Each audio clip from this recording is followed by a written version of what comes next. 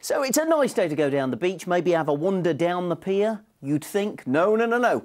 You would be better to actually jump over the pier. Well, if you are the British kite surf champion Lewis Crathern, 24. Look, that, that's him going over the pier. And he's not alone, look. Uh, this is his friend Jake Scrace, who's 25. Uh, they both did the stunt this morning. They reckon that the jumps were more than 50 feet in winds of around 40 miles an hour. Just look at that. Look, up it goes, and then it goes down. Uh, they've apparently uh, been waiting for the perfect perfect conditions to do it, and that was today. Uh, over two years they've been waiting, rather them than me.